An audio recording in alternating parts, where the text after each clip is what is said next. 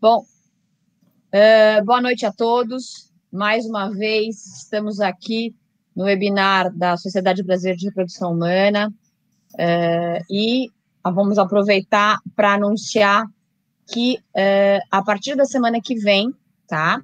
Toda segunda-feira à noite, às 8 horas da noite, nós vamos proporcionar um curso online de educação continuada, ao vivo, tá? Para quem está justamente querendo ingressar na área de reprodução humana, tá? Então, nós vamos ter os módulos básicos e os módulos avançados.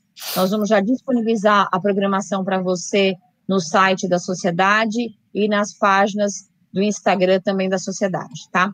E hoje a gente tem um prazer imenso uh, de estarmos aqui com o doutor Pasquale, que é internacionalmente conhecido, tá? Uh, ele justamente tem mestrado em bioética, ele é professor e diretor do Centro de Fertilidade na Universidade de Yale, tá? Do programa de preservação de, de fertilidade e andrologia de Yale, e também é o professor e editor associado do Journal of Assisted Reproduction and Genetics, tá? E ele vai justamente hoje conversar com a gente sobre PGTA e mosaicismo nos embriões humanos. Uh, Dr. Pasquale, thank you very much for being with us tonight. Thank you. Really, really, really, we're very anxious to see what you have to, to say about us, to say us about the PGTA. Thank you. Be welcome. Thank you, Nilka. Thank you, uh, Paula and Rui for the invitation. First of all, I want to make sure that everyone is doing well in uh, in uh, Brazil with during these very strange times. But uh, let's be always optimistic. This is going to end. We need to be a little bit careful, but uh, it's going to end.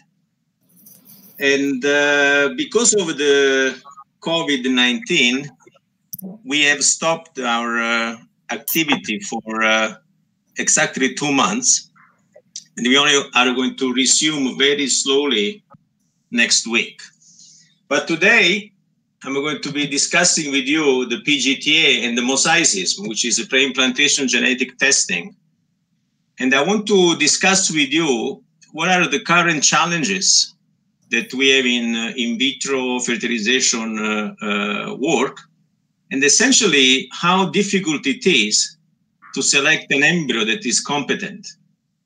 Because of the difficulty of selecting an embryo, many uh, so-called adds on, many non fully proven methodologies have been introduced into the uh, clinical practice. And I want to show to you that among the many additions, the many adds on, PGTA is the one that has been portrayed or pushed to patients as a very good technology. And I want to show to you that I don't agree so much with this because it's a technique that is not only expensive, but has not been proven to improve what they were supposed to do. And then uh, after I talk to you about the limits of PGTA, I will also try to uh, touch upon what are new techniques at the horizon and one is the non-invasive uh, PGTA, which is a technique by which after you grow the embryos to blastocysts, you can uh, you can check the culture medium, and then on that culture medium do the chromosome analysis of the DNA that is present in that media. So first of all, about this adds on, you see there are so many adds on, and if we are really honest in admitting, in telling the truth that there is very limited evidence for uh, a significant increase in uh, live birth rate, you can see that among the many so-called adds-on or, adjunct, PGTA is another one that has no evidence or very limited evidence. And a very recent paper in the Reproductive Biomedicine Online, it shows here with the red light or yellow light. The green light are tests that are uh, being proven by randomized control trial that they work and see there is really nothing here. And the red, the one that there is really no evidence, no evidence at all that they are effective and safe.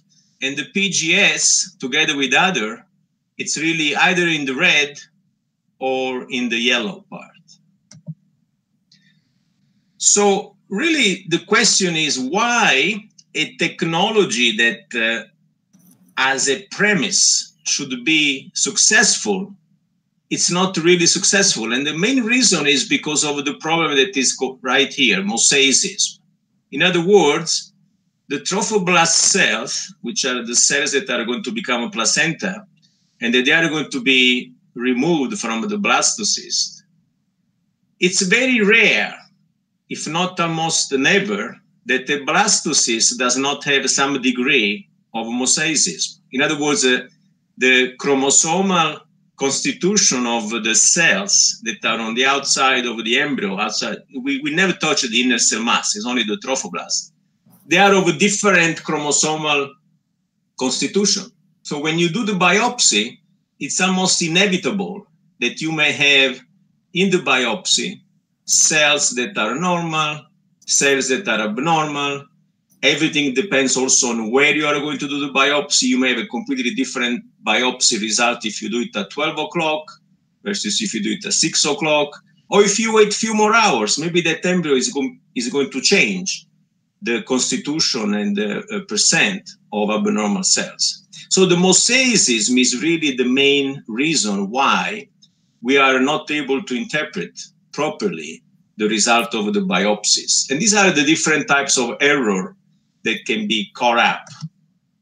So these are the assumption of the, B, the PGTA, okay? The first assumption was that, well, if we do the biopsy at the blastocyst stage, the, the mosaicism at the blastocyst is very, very low. But that's not true.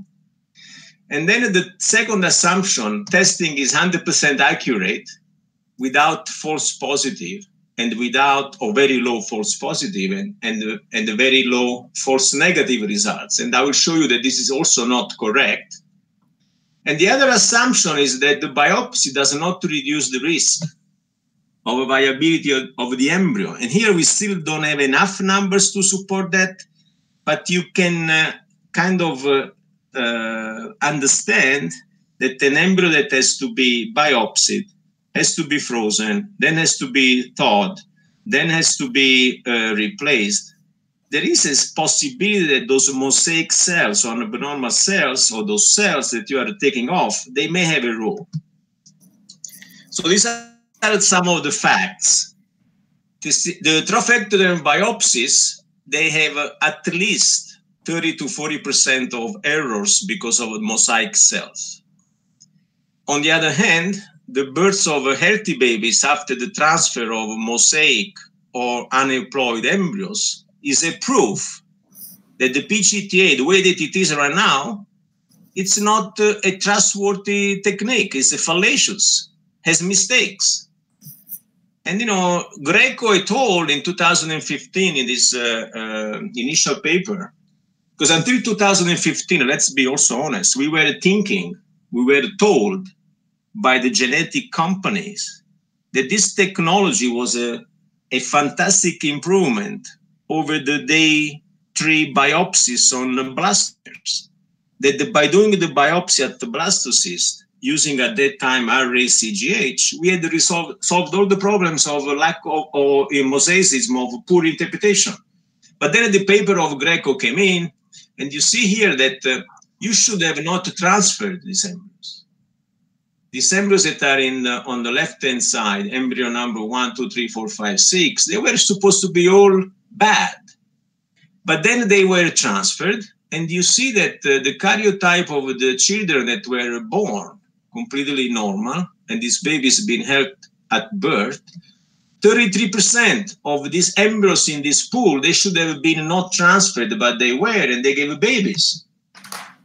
Dr. Gleicher in New York, also was one of the first to raise the alarm and say, wait a minute, here the testing is not, not accurate. And you can see that even in his uh, own clinics, by transferring abnormal embryos, he had the normal births. And the same uh, uh, Escher in 2016 and 17, they start to report that about 25% of uh, embryos with mosaic They should not have been transferred, they were implanting and they were giving births. Then Santiago Munné produced the paper in 2017, not yet the randomized control trials. We will discuss that in a few slides. And this paper showed that you see here different degree of mosaicism, okay? Complex mosaicism between 20 and 40% or 40 to 80, double mosaicism, monosomy, trisomy, and all these embryos that were diagnosed as mosaicism, they were all transferred. And you can see here in the last column here, you can see the percent of ongoing pregnancy. When you examine it overall, you have a, a total of 58 babies born from the transfer of uh, abnormal embryos with different degree of mosaicism for a, a, a delivery rate of 41%. So, in other words, 40% of embryos that were not supposed to be transferred if you were following the directions of the PGDIS society, they were giving babies. So, this is a false positive result, obviously. So, embryos that are called abnormal or with severe mosaicism, they still can give a baby. Then Victor et al produced another paper on 100 uh, mosaic embryos, okay? And they prospectively transferred these embryos. And even in this paper, one more time, to try to convince you if you are an aficionado of uh, and you are uh, uh of a PGT, that uh, in younger women, 47% of mosaic embryos they gave a baby or fetal heartbeat. In women that were older than 34, 21%. So the conclusion of Victor paper was that the degree of mosaicism in the trophectoderm biopsy did not correlate with the clinical outcome. Therefore, the biopsy of the trophectoderm is definitely, in that case, in, in the data I showed so, for you so far, a very poor predictor of the chromosomal content of the remaining blastocyst. This is a study that came from the uh, from the ESHRE. Uh, this is a study that uh, took a lot of time to complete, and this is a study that shows that now instead of biopsying the blastocyst, they were biopsying first and second polar body to select euploid embryos for transfer. And even this study that uh, um, uh, took a long time to do was not able to show an increased live birth in women in the bracket of age of 36 to 40. Okay, so there was really no difference of of a live birth by doing the first and second polar body biopsies. But what really put a nail in the coffin, in my opinion, of the PGT is uh, this paper, which finally, finally was a randomized control trial of a patient that were considered to be good prognosis. And they were divided by whether the embryo transferred was an embryo that had a biopsy or was an embryo that did not have a biopsy. And you see that there was no improvement in the overall pregnancy uh, outcome in all women. These were women that they were divided in two groups the women that were younger than 35, older than 35. And uh, and then here they said that there was a, an increased chance of having a live birth in women 35 to, uh, to 40 years in a post hoc analysis. But this difference statistical difference in PGT favor disappeared completely when you do the intention to treat. Let's uh, let's look at this paper in more details.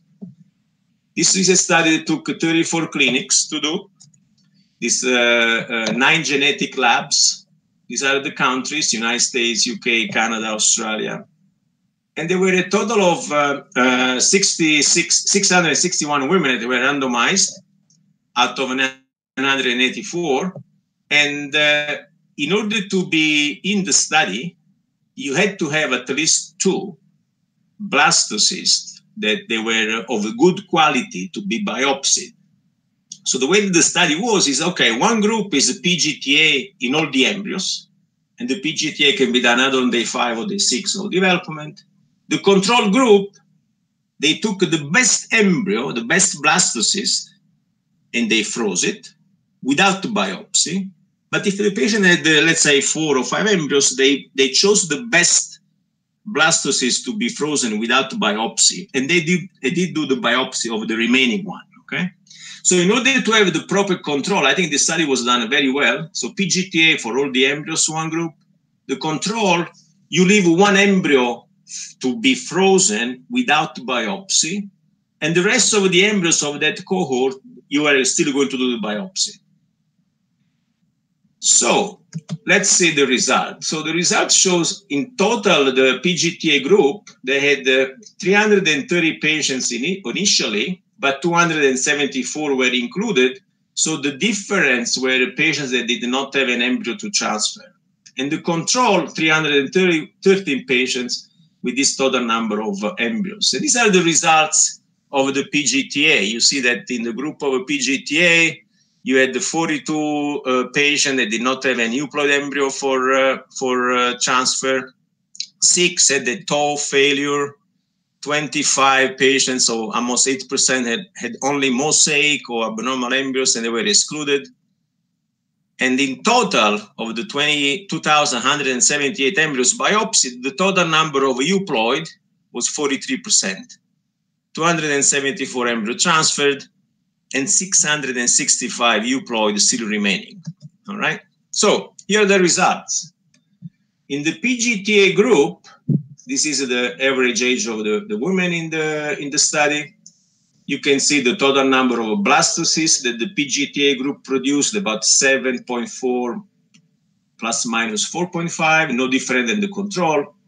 The percent of euploid embryos in this group, 43% the percent of uh, euploid in the control, but keep in mind that one of the embryo was not biopsied. So these are the remaining 41%, so no difference. And the mosaicism rate 17%, so really no difference in the two group. Okay. And these are the pregnancy rate. In the PGTA group, the intention to treat, remember, was 330. And these are the one that they were able to have the transfer versus the control you have the uh, ongoing pregnancy rate per women that had the transfer of 50%. But if you do it on the intention to treat, denominator 330 is only 41.5%. And the control, 45.7%. Okay, really did not help at all. And if you then look at the outcome by age, there are a couple of things I want to point out to you in this uh, in this table. So the ongoing pregnancy rate per uh, transfer in the PGTA is uh, 49%. In the control, it's 53%. If you and this number becomes even better if you do it per intention to treat so in favor of the control, 42 versus 50%. What for me was interesting in this data is also the fact that despite despite doing PGTA, you still have a, miscarriage rate in the PGTA group that is a, a little bit higher than the control. So we should have seen the completely opposite, but we don't. So even though you are transferring a euploid embryo, patients still have a, a, a, discrete amount of miscarriages. And this is a very favorable group of patients. And these are the patients that are 35 to 40 compared to the control. And you see here that, uh, yes, you may have a better chance of having a live birth if you calculate only for uh, embryo transfer as a denominator. But when you do it for an intention to treat, there is no difference anymore and the same the number of miscarriage here. Again, you know, even though you transfer a euploid embryo, you still cannot protect from miscarriages. So of the remaining embryos in the two groups, there are still additional births that you need to count. So if you add the entire total number of babies from the frozen embryos, you still are going to be, at the end of the day, not having any difference whatsoever whether you do or you do not do the PGTA. So as a conclusion of this, if you also add the 17% of embryos that were considered abnormal and you can transfer them, as I will show you in a moment, you really are going to have much more in favor of non doing the PGTA than doing the biopsy. So at this point, uh, my conclusion will be that uh, the, the concept of a PGTA it's theoretically attractive, but is biologically flawed, like I showed you because of the mosaicism.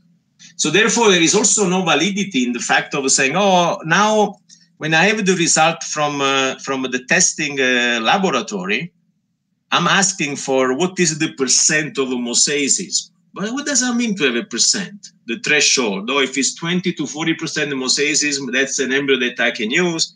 If it's between 40 to 80, is a kind of a gray zone. If it's more than 80, I should not transfer that embryo. But these are all uh, all uh, um, concepts that have been brought to us based on the limitation of the technique. What does that mean, 20% of uh, mosaicism? That only one out of five cells that was biopsy is abnormal?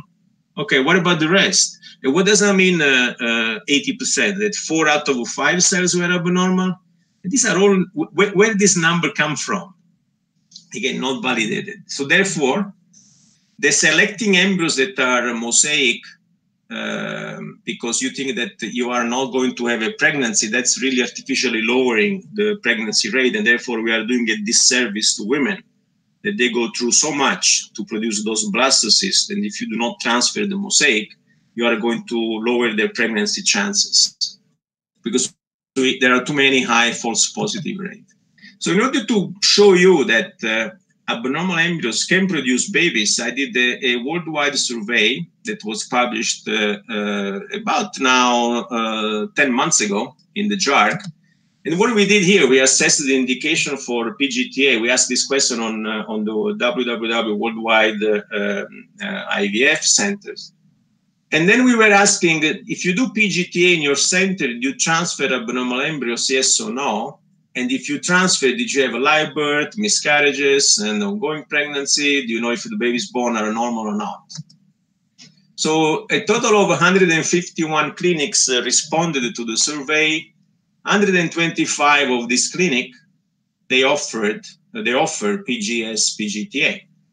So for a total number of annual cycles, this is not cycle over PGTA, just the number of IVF that these combined clinics they do, but 135, 136,000. Okay, so 125 clinics. Yes, we do offer PGTA. And uh, when we ask them, uh, okay, what percent of the cycles that you do, you offer PGTA, you see that 33% uh, uh of the units or clinic, they say, oh, we do it in about 10% of all our IVF cases about 23% uh, uh, of the clinics that answered the survey, oh, we offer between 11 and 20%. But you know what is interesting that uh, there is about 15% of the clinics that responded. They say, oh, more than 50% of my IVF cycle, I offer PGTA. All right, what are the indications for that? So the indication for that are advanced maternal age, that is the most common one. 78% of the units, they offer PGTA for advanced maternal age. 71% for recurrent implantation failure. 65% they do it for unexplained recurrent pregnancy loss. 25% sex determination. And uh, as I told you, there is a number of uh, clinics that they do it on, there is no indication because I do it on every one. Okay, so there is no, so 14% of the clinics that they offer PGTA, they have no indications because everybody is going to get the PGTA. But you see that uh, the three most common uh, one, you know, recurrent implantation failure, re advanced maternal age, unexplained pregnancy loss, there is really no data to, to say that this is really going to help. Now, how many cycles in total they have transferred abnormal embryos. So over the 125 clinics that they were saying, oh yeah, we do PGT, only 25 clinics, they said, and this was a, a survey that was carried out in the year 2018, they said, yes, we are using NGS, 95% of the clinics, and only 25 of them, they are transferring mosaic or abnormal embryos for a total number of uh, embryos replaced of 215. All right. So what happened to this uh, 200, 215? A total of 126 patients out of these 215 cycles, they got pregnant. 56 had delivered already. 50 were ongoing, and 20 had miscarried at the time of the, the, the analysis, which you can see a very low spontaneous abortion rate despite despite the transfer of abnormal mosaic or abnormal embryos. So a very low uh, percent of, of uh, miscarriages. And the reason why is low, the, the miscarriage rate, despite you transferring abnormal or aneuploid embryos, is because there is a false positive test. So the reason why there is a low miscarriage because these embryos are not really abnormal; they are normal. And if I want to extrapolate this and try to make a prediction on how many more babies I may have in the United States if I stop doing PGTA, you see these are the survey results. So there were a total of uh, 35 additional babies born in those clinics only in the United States out of the entire international survey, just focusing on the USA. Just uh, calculating uh, the CDC data of 2018, I will probably have uh, if I don't do the PGTA or if I transfer abnormal embryos after PGTA, I will have an additional 200 babies uh, born. So then the question is uh, why the embryos that are euploid also miscarriage? And this is a study that was done uh, uh, at NYU a few years ago. So far, I told you that there is about a 30 to 40% false positive rate due to mosaicism. Now I want to address the false negative rate. In other words, if you uh, put an embryo that is normal and then the patient still uh, uh, have a miscarriage, why is that and how big is the problem? So here, what Jamie Grifo did, they transferred euploid embryos, okay? They were normal. And then uh, in 38 cases, 24 of uh, uh, this patient they had a spontaneous abortion despite the transfer of euploid embryos. So what they did, they went back and they went to look at the remaining uh, DNA of those biopsies, and they did now NGS on those. And they found out that there were embryos that were mosaic, both in the live birth and in the uh, in the spontaneous miscarriages. But they also were able to say that even though there were euploid embryos, there were two cases where there were triploid embryos that the normal uh, testing uh, done at that time had completely missed. So there is a false negative rate of about 36%. So therefore, uh, uh, it's also important this study from uh, Zev Rosenwaks that came in 2016, where they asked the question, okay, but then who is benefiting for the PGT uh, or PGS at the time, still called PGS. So what they did in this study, they looked at the uh, what they did. They looked at the patient that uh, uh, desired the PGT screening and had at least one blastocyst for biopsy, and they compared the result of the PGT with the fresh day five embryo transfer during the same time period. And what they saw is that I will show you in a moment in the in the in the tables that the PGT did not improve the clinical intrauterine gestation, nor the live birth rates, nor the miscarriage rate. And here are the results. So you see that the single embryo transfer with the PGT versus non-PGT, implantation rate with the PGT 54%, no PGT 54%, biochemical rate the same, missed abortion the same, live birth rate the same. and twins, there were two sets of uh, uh, identical twins in, the, in this group here because embryo split. But now I want to show you another concept that I worked on this table. I modified the table here because I want to calculate the false negative, okay? Before I go to calculate the false negative, let's go and look at the people that had the double embryo transfer. Okay, now two embryos transferred. Two embryo transferred after PGT, 37 uh, women, versus control, people that had the two blastocyst transfer. And here the implantation rate, not too much difference, 47%, 52%, a little bit better in the non-PGT, but that's okay. The missed abortion was uh, uh, was uh, uh higher in the non-PGT, so 5% versus zero, okay. Live birth rate, no difference, 62% versus 60%. And then I did a little bit of calculation here to try to understand if I can gain information on the false negative rate. Let me let me show uh, take you on the way that I've been thinking about this. So here in the single embryo transfer, I transferred 62 embryos that they were supposed to be euploid. And here, 161 without knowing if they are euploid or not. So, in other words, in the group of PGT, I had a, a total of 34 embryos that were euploid that they implanted, but 28 they did not. And therefore, why this 28 did not implant? But in order for me to make sure that the uterus is not a factor, because you may be thinking, well, maybe there is something wrong with the uterus. Well, let's look at the PGT double embryo transfer. So now there are two embryos that have been transferred after being diagnosed as euploid. And look at how many embryos still do not implant, even though uh, one of the embryo implanted Okay, so there are 41 out of 74 that they it, they did not implant. So this number, this percent, contains the false negative rate. I cannot tell you for sure this is the negative rate, but this contains the negative rate because there are a group of women that they delivered only one baby instead of twins, even though they were transferred to euploid embryo.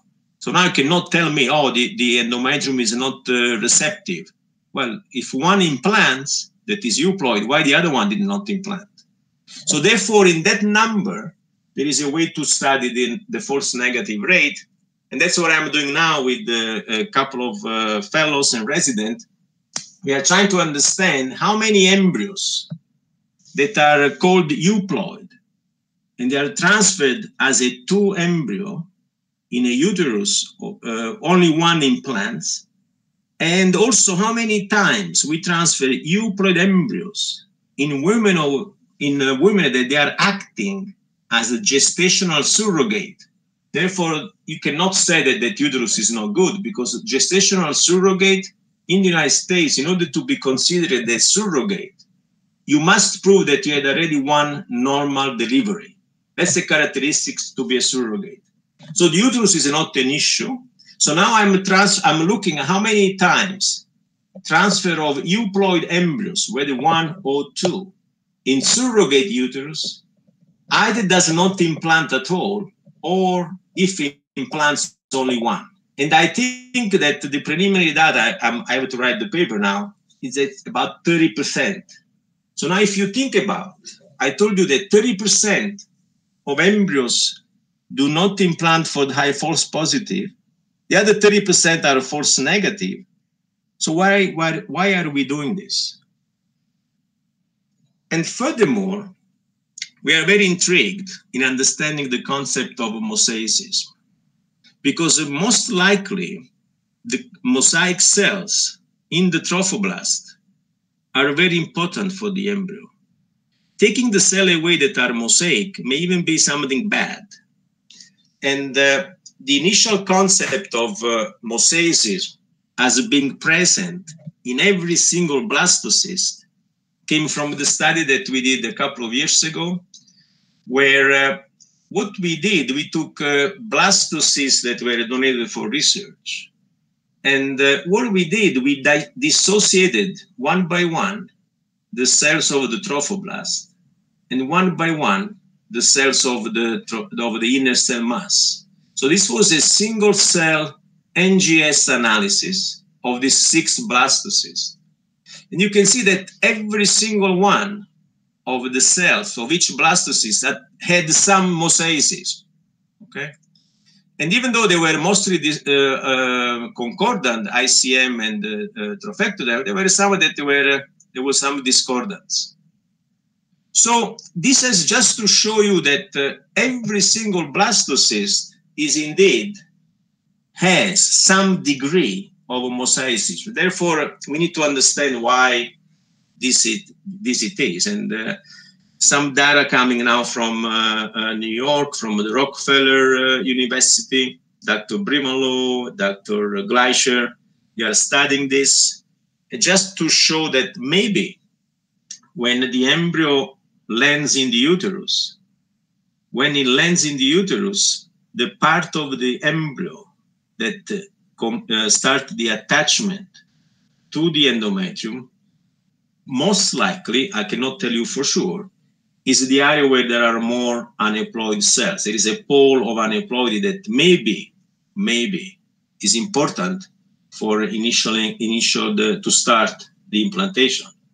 But also the concept that really uh, PGS is not ready for prime time. That's uh, I'm fully in agreement with this report of Richard Paulson. Now, uh, because I'm also a bioethicist, uh, there is always a problem for me when we are using a, a, a test that is not being validated and you, we are charging money for that test. And you are putting the patient really in a very difficult uh, situation because now the patient uh, that uh, you know is looking at you at, at the doctor to give uh, to, to give an opinion and we are looking at the patient to say, well, you know, you have your procreative liberty. Do you want to transfer or not an embryo that has been called uh, abnormal or mosaic? I don't think that is really fair uh, to put a patient in this type of uh, uh conundrum, in this type of situation. And uh, now they need to, to choose whether to do or not something that we should be uh, providing more information. And we should be more able to say yes this embryo should or should not be transferred. So uh, really we cannot pretend uh, that the patient is going to be taking care of a, a, burden that we are placing on them. So then how, what to do to select the embryos i think at this time i prefer to stick with the concept of uh, favoring as much as possible blastocyst transfer. So let's let's grow the embryo if we know how to grow the embryos. If we know that we have a very valid laboratory, let's grow the embryo to blastocyst. If the embryo does not make it to blastocyst, probably was not meant to be that particular cycle, and maybe we need to do another cycle. I'm not so much in uh, a thinker that the embryo does not grow because it's not in the uterus. And then the other things that is on the horizon is the non-invasive PGTA. The concept of transferring embryo to blastocyst, beside the meta-analysis that was produced in 2016 by Glujovsky et al., Glujovsky, a guy, Damien from, uh, from uh, Buenos Aires, by the way, is uh, this paper. So this paper is very, very recent. Okay, it's a 2020 Nature uh, research paper done by some colleague from Japan.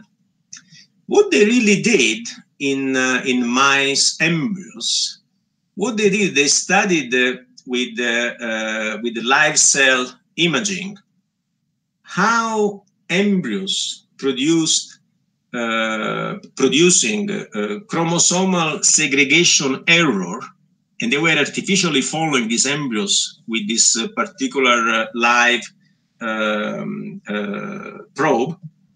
What they were able to show is that, uh, first of all, the embryo get abnormally uh, uh, in chromosome numbers during the very early stage of mitosis. So it's really in the first day or two of embryo culture that they can get abnormal segregation errors, abnormal distribution of the chromosomes.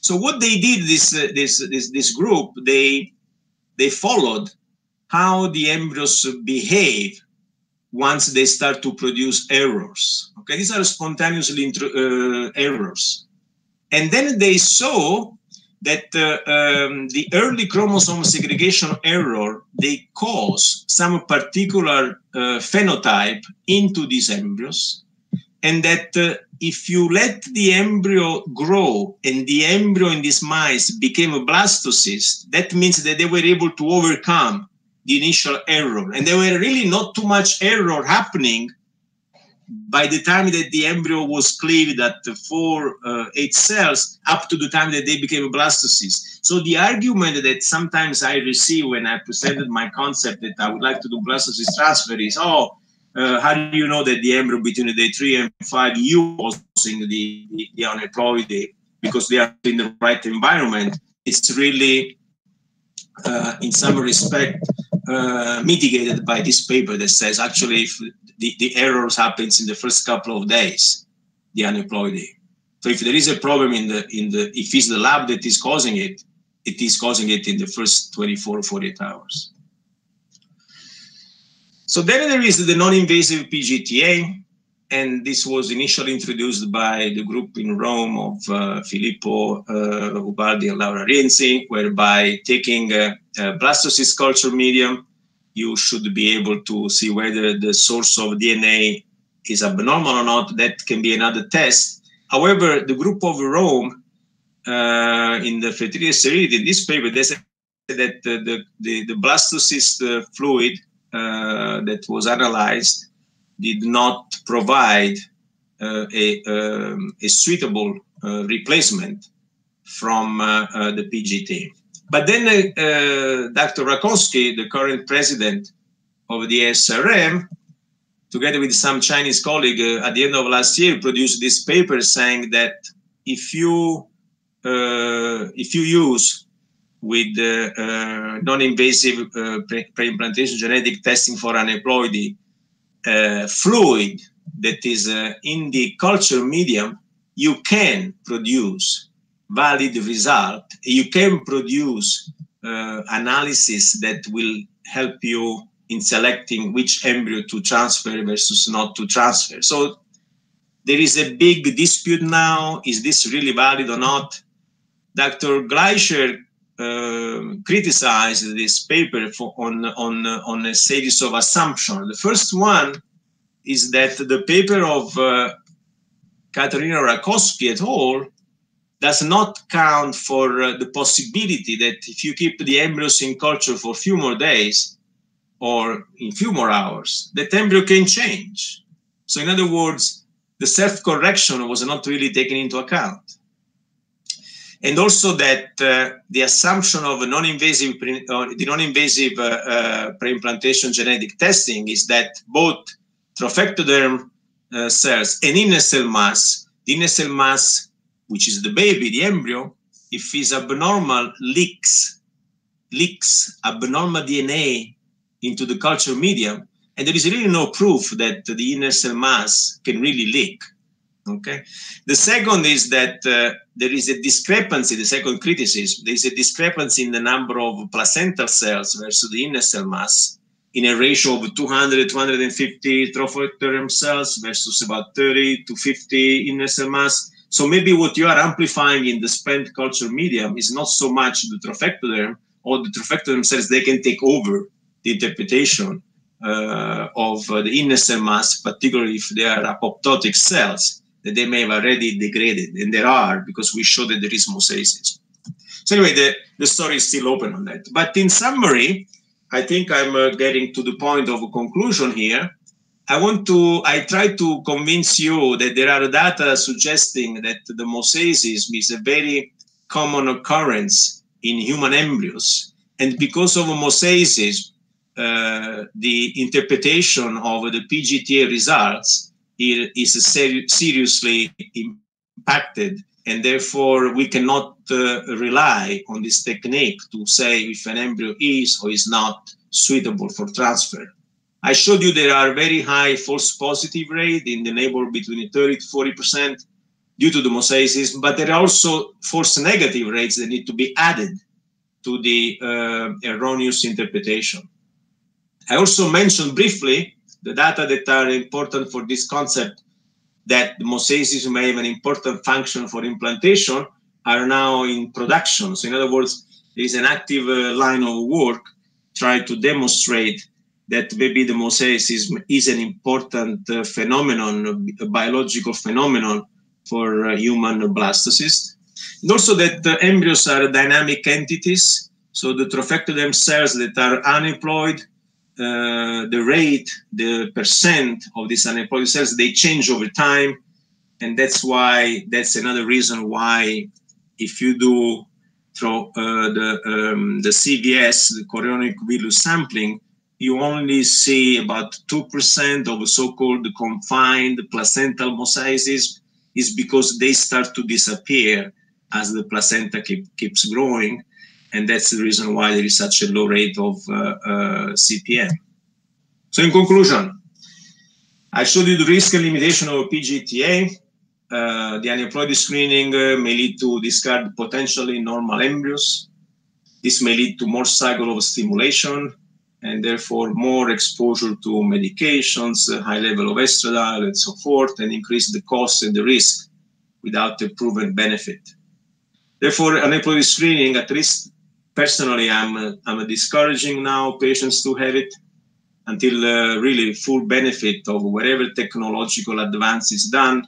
Even the artificial intelligence applied to how these uh, biopsies are interpreted still is not a valid uh, method because you are still using artificial intelligence on faulty, faulty testing. I mean, uh, there, there is no way that the artificial intelligence can uh, can correct an abnormal interpretation because not it's not the technicality of the interpretation; it's that the biopsy in itself is uh, marred, is affected by technical issues.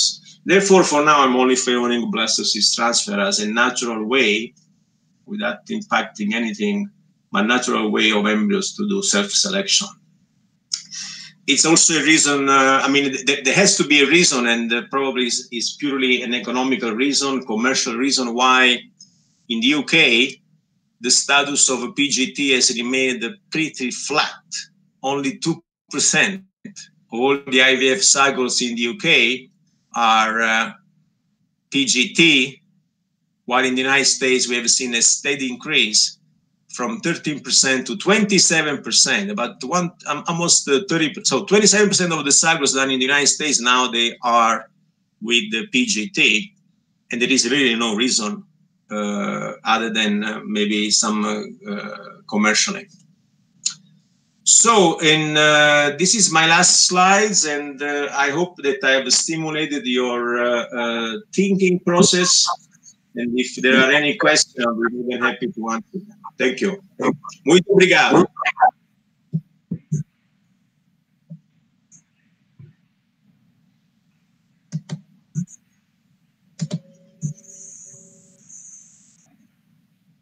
Um minutinho só.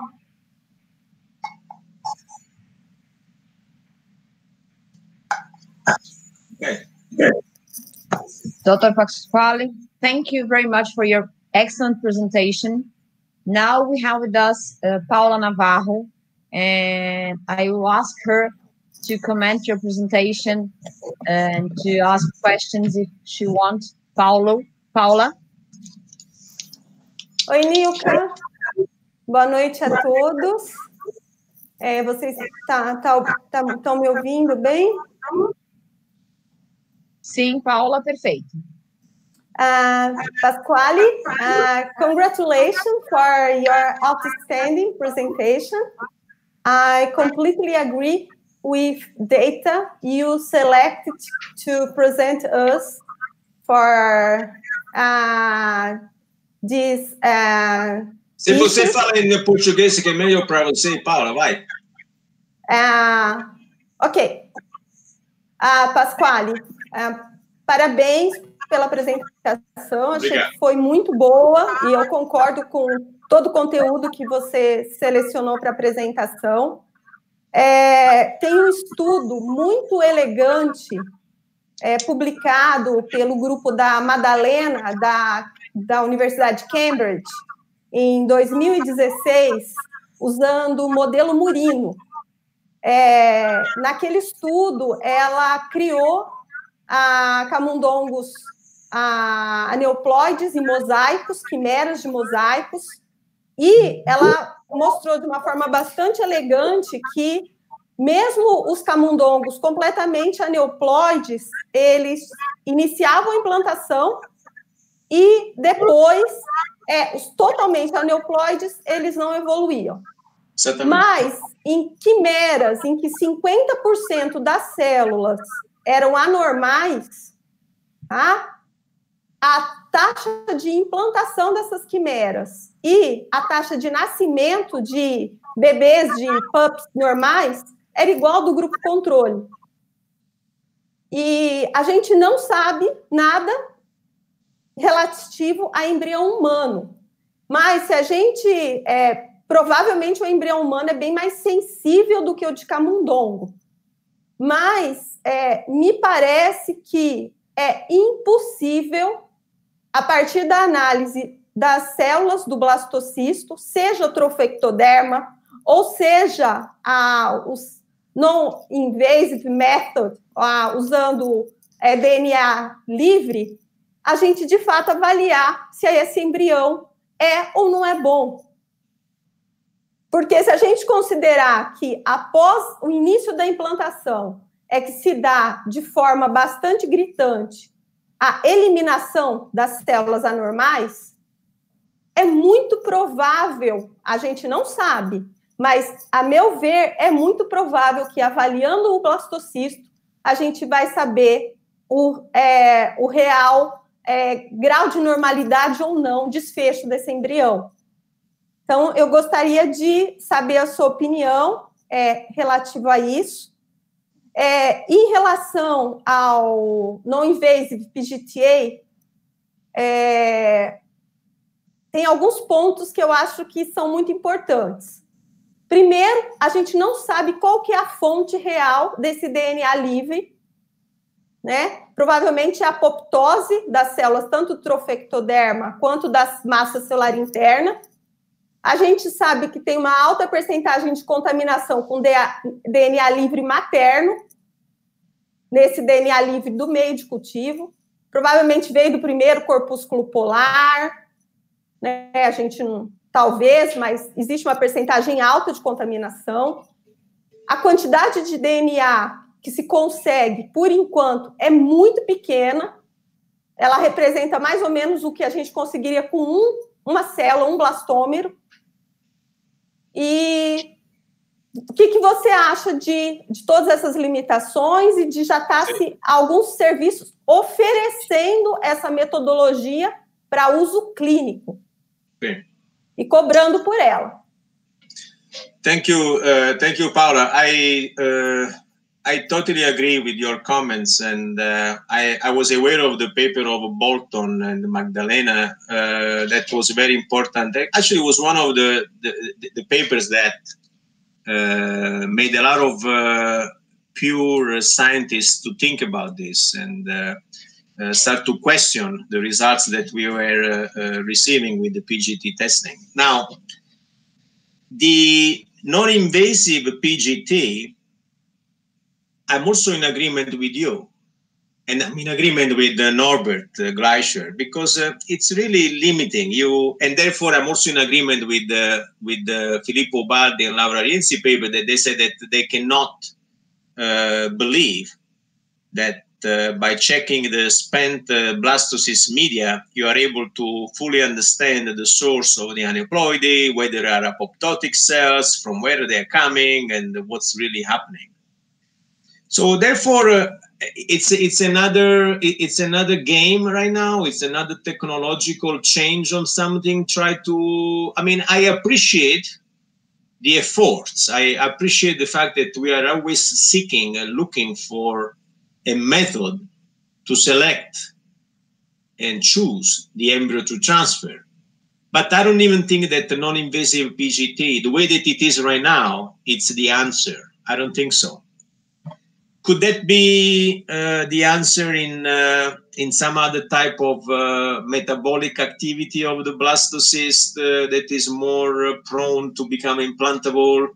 Uh, maybe, but uh, even that is an area that requires a lot of effort. But I do believe more in. so, if the blastocyst that implants, if the blastocyst that has characteristics of uh, the trophectoderm cells that are secreting something in the culture medium that is different between the blastocysts that do not implant. Well, now we are looking at, so now we are going in a different directions. We are not looking anymore at the chromosome, at the entire DNA, but now at the genetics of some of the trophectoderm cells. And, uh, you know, that's a different story. That will be probably a little bit more productive if we can find something there. But people has been looking for so long for some potential metabolites that uh, I think we need to start to think a little bit more out of the box, something new, uh, we say. But right now we don't have anything other than growing the embryo to blastocyst. Thank you very much. Pasquale, uh, I have three questions. Uh, sure. One of them, okay. Uh, some genetic labs observed that some reproduction clinics have higher rates of aneuploid embryos than others. Uh, is there any problem uh, in the lab handling that can be responsible for this? Is and uh, this is common to happen? Okay, so that's question. Uh, the answer is yes there are differences in uh, rate of aneuploidy uh, among uh, laboratories. The, the, the egg, starting with the egg, the egg is extremely sensitive to uh, temperature shifts. So sometimes if the egg stays uh, too much time out of uh, the proper temperature, that can be an issue. Uh, there are um, other people that uh, even when they, they grow the, that's why I, I premised before i said if you have a, a, very good laboratory that knows how to grow the embryo but if you don't sometimes there are culture conditions that are extremely suboptimal and particularly the first couple of days the first 48 hours seems to be extremely important for uh, directing uh, uh, proper chromosomal segregation. So yes there are some issues there uh, so the lab may play a role. Now, is the lab playing a, a huge role in uh, making all the embryos aneuploidy? I, I, don't think so, but there is a component, yes. So you need to have a, a therefore, therefore, a good lab. Okay. Uh, another question is: Is there any relationship between? I lost you. Um, me too. Uh, if you if is there is, there is any relationship between mosaicism and autism huh, uh, that's a that's an excellent point uh, um, i don't think yet uh, we have an answer for that. I personally don't know. There is a guy in our group Harvey Kliman that is a placenta uh, expert. And uh, a few years ago, uh, Nika, he was he was showing in, in, a study done on placenta of babies born with autism. So he was looking at how some uh, particular type of cells were uh, and the blood vessels in those placenta but uh, that was a term placenta. So I don't know anything about mosaicism in the initial stage and autism. I don't know. Okay. And another question. I know it's a hard one to answer. You have in front of you a 42 years old patient with two IVF procedures with all embryos with aneuploid Okay. To IVF, no transfer at all. What will you suggest for this patient? And the embryos are uh, blastocyst? Blastocyst. PGTA, so blastocyst, all embryos aneuploid.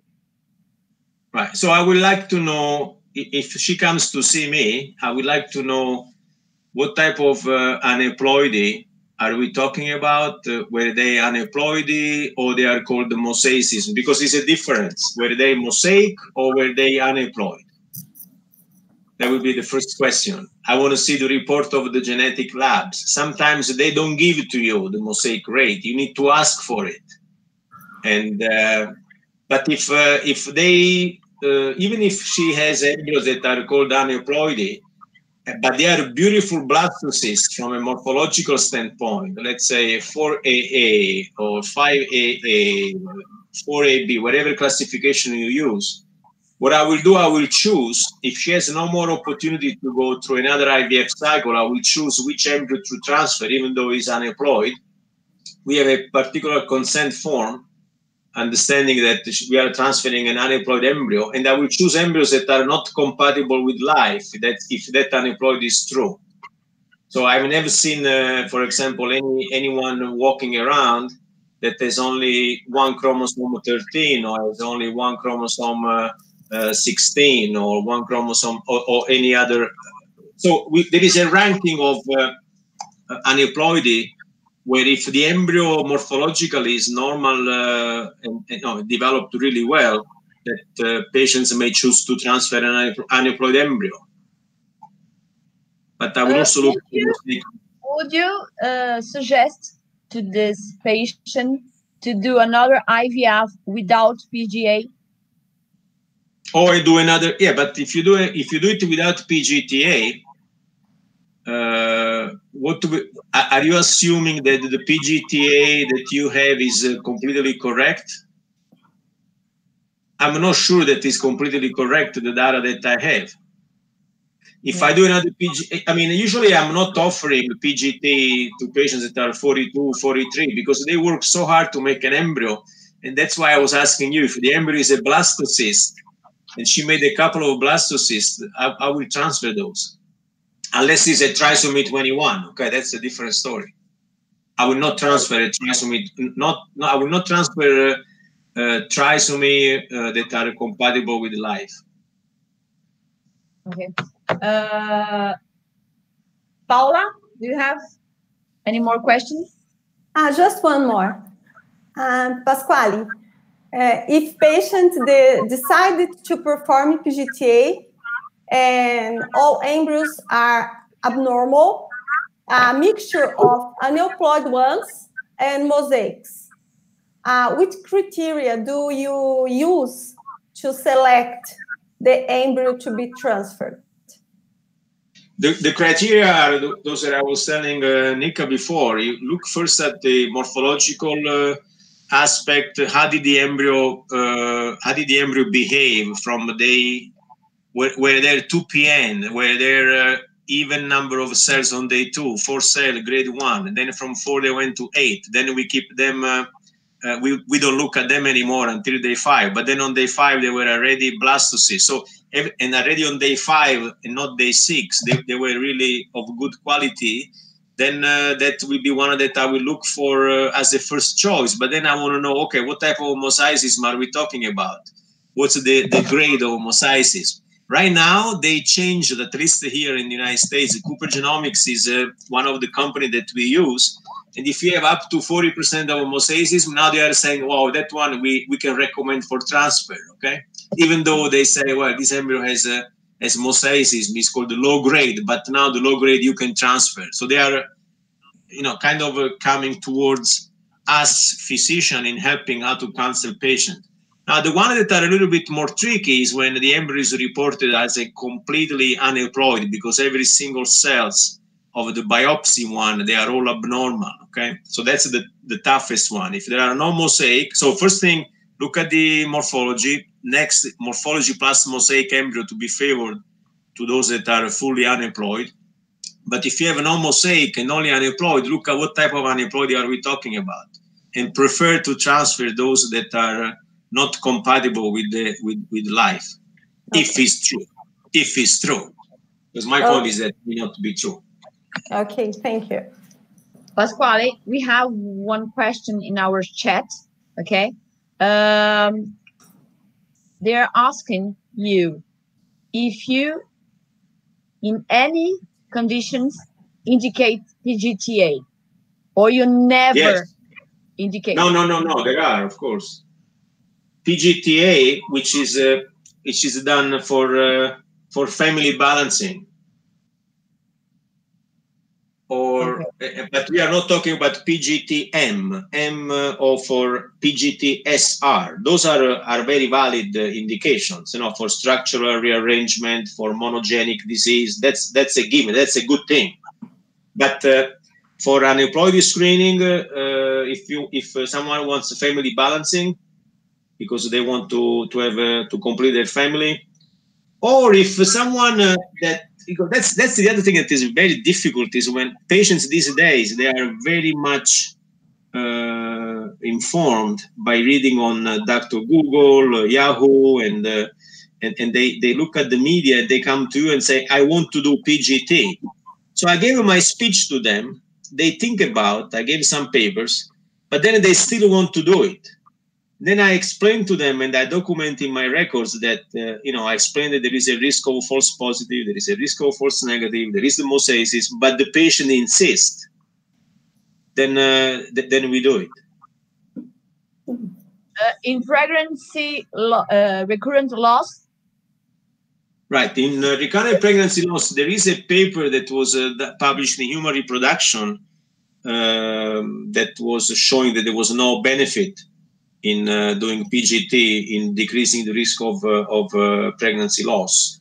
Uh, so I, I don't offer it. However, if it's a patient that had three uh, losses and had at least two or three transfers of, of embryos and either she did not get pregnant or she miscarriage again, then at that point I want to know whether there is something in the in the couple. We order microarray testing on both of them to see if there is any any um, possible mosaicism in the in one of the two parents but then we try to get the product of a conception and try to look also the product conception if there is something that can suggest something. But after three or four losses at that point i may i may give a little bit more to patients say okay if you want to do it we can do it.